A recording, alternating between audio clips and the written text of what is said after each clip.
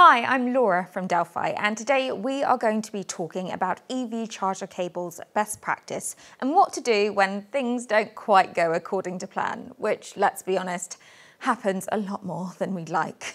Well, would you look at that? I've gone and accidentally run over the plug on our EV charger, but it's not that bad, right? I mean, it's just the mains plug connection. That can easily be fixed, can't it? Well, no. Don't do that. It's a really bad idea. Let me show you why. Well, this isn't a conventional three wire setup. I'm gonna demonstrate to you on an EV charger that I took apart earlier. So yes, we do have our live neutral and earth wires as normal, but we also have these two extra wires. Now these are there to measure the temperature of the plug. Well, why is that necessary? Well, when charging an electric vehicle, we can be drawing over two kilowatts for several days in order to fully charge certain vehicles. So heat is inevitably going to build up. If we can measure the temperature, then the charge level can adjust to ensure that there aren't any issues.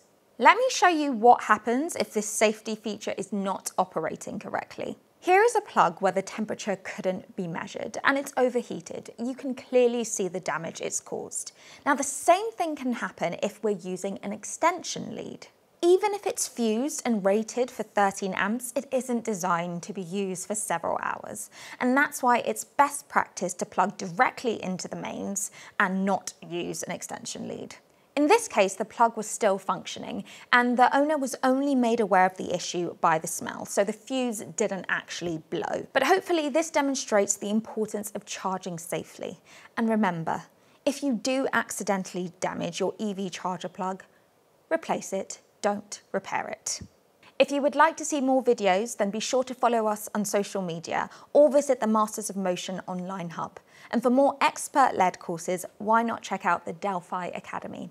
Thank you for watching and I'll see you next time.